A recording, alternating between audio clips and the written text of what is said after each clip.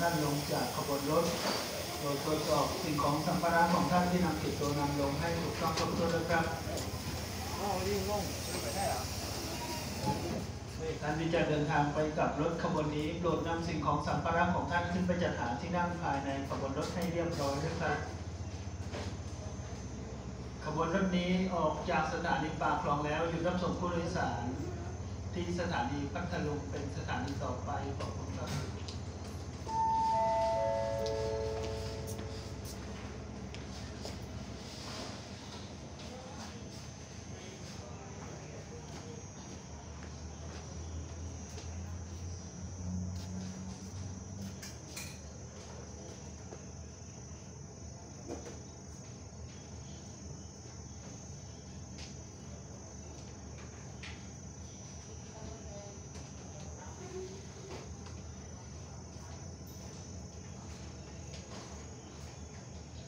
Thank you.